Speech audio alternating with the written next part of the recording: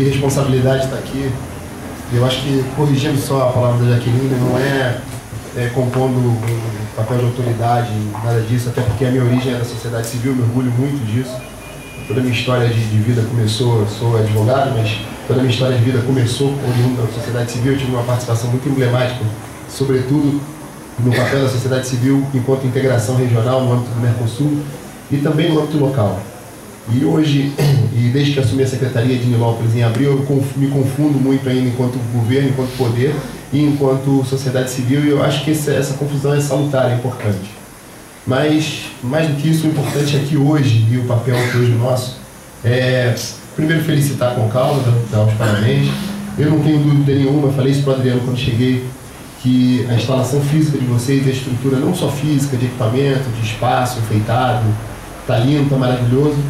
mas sobretudo de equipe unida e forte, é a maior demonstração de força que eu já vi numa entidade é, é, é, de natureza da sociedade civil, em todo o Brasil e até fora do Brasil também, olha que eu esses países da América Latina, e eu não vi uma, uma, uma instituição com esse poder de organização e com esse poder de, de união, de, de, de coalizão de pessoas. Então vocês estão de parabéns por isso, não tem dúvida nenhuma. E a Concausa é grande parceira, eu me orgulho muito de ter a Concausa parceira, porque eu posso fazer um paralelo aqui ao mito, ao mito da caverna de Platão. Na verdade, a Concausa, Adriano e sobretudo a Jaqueline, que foram os que tiveram o primeiro contato comigo, eles né, nos ajudam, aí eu não digo só enquanto governo, mas enquanto sociedade civil, a, a, a obter o poder de consciência e desvendar certos enigmas e certas barreiras que às vezes parecem intransponíveis, mas não são.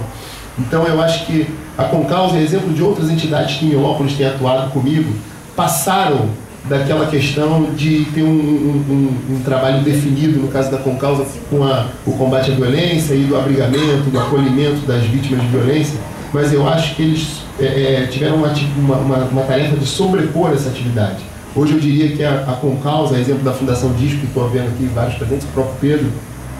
eles fazem o papel efetivamente de representar o que significa ser sociedade civil e o que significa buscar parceria com o governo, mas não numa condição de subserviência, que isso é muito grave. E às vezes, muitas entidades a gente vê numa condição de subserviência por conta da necessidade financeira de ficar refém do governo ou de um agente financiador e acaba, e acaba perdendo a sua autonomia. Então eu identifico na Concausa essa capacidade de não se tornar refém, de manifestar sua, sua própria palavra, seu próprio interesse e conseguir coabitar e a gente agir junto. Hoje a Concausa é parceira da, da cidade de Nilópolis, do município de Nilópolis. E a gente está com ideia e hoje a vinda do, do Viel, que é o, o secretário da, do, da Secretaria da Presidência da República de Direitos Humanos, eu acho que fechou esse laço, esse casamento. A gente tem com causas através de uma articulação também de fazer trabalhos com a Concausa em outros municípios, para tirar essa característica também da Baixada, que já chegou o momento da Concausa perder essa característica da Baixada,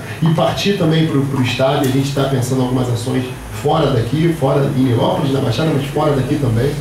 E em Nilópolis a gente quer criar um, um, um filhote do centro de referência, a gente fazer um polo de referência na cidade próxima, está muito perto daqui, tem, sofre das mesmas mazelas, e a gente está trabalhando para isso e tem tudo indica que vai dar muito certo. Então eu queria agradecer a todos os presentes, agradecer pelo convite, a oportunidade de estar aqui falando, que me deixa muito envaidecido.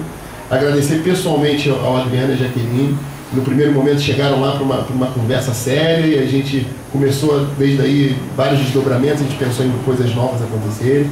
Quero agradecer que a maior demonstração dessa de parceria, que não foi combinada, é chegar aqui e ver todos os superintendentes da secretaria presentes aqui, a Luciana, a Inês, a Rose, Benoni, todo mundo presente aqui e cada um com sua área temática. A gente tem deficiente, a gente tem igualdade racial, a gente tem mulher e assuntos religiosos, que são todas as áreas de atuação da Concausa, todas as áreas de atuação da Secretaria de Cidadania. Hoje eu conversei com o prefeito, ele mandou um abraço para vocês, esteve conosco lá mais cedo, com o Biel, com o Adriano. Então eu fico muito feliz, agradeço demais a presença, saudar o deputado também, que conheço da história, do trabalho.